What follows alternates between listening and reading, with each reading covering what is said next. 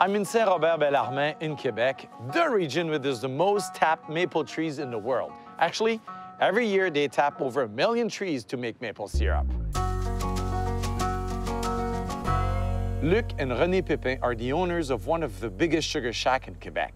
Their maple farm has about 160,000 tap trees, and they produce about 560,000 cans of maple syrup per season.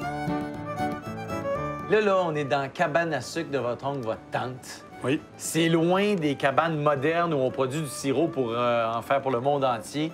Comment vous vous sentez? Repensez-vous à votre enfance ici? Oui, ah oui. Ah oui, oui. Je me rappelle de bons souvenirs. Juste le craquage du, du bois là, qui est petit. Là. À l'époque, quand vous avez commencé, vous aviez combien d'entailles? On avait 5 000 en taille. Puis maintenant, vous en avez combien? On est rendu tout près de 160 000. Fait que ça, c'est les bouilloires de l'époque. Oui. Ouais. Puis maintenant, chez vous, ce qu'il y a, c'est des machines, on voit même plus de vapeur, là. Oui, c'est des évaporateurs électriques. C'est plus écologique. Il n'y a plus de bois non plus. Il n'y a plus de bois non plus. Fait que finalement, vous travaillez plus. Non, pas ben, ben. To obtain organic certification, maple producers must use natural fertilizers, reduce the risk of injury to the trees during the tapping, and follow a protocol for harvesting and processing the maple sap.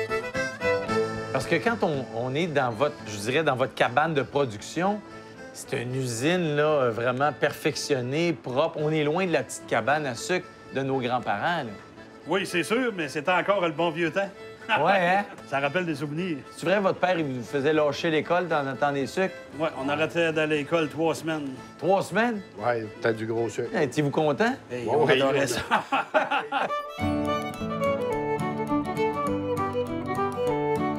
Le futur, le voyez-vous euh, positif dans l'érable? C'est sûr et certain. Au Canada, euh, c'est la principale place pour le sirop d'érable.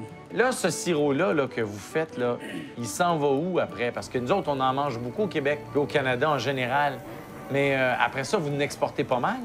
Oui, ça s'en va aux États, en Europe, euh, Ah, oui. Japon, Japon. en France. Ah, oui. l'Allemagne. Vous êtes rendu dans combien de pays? C'est 53 pays. 53. Ouais. Ça, vous devez être fier quand même d'avoir réussi à perfectionner cette entreprise-là. C'est une fierté. Fierté, une passion. Avec les années, tout a grossi.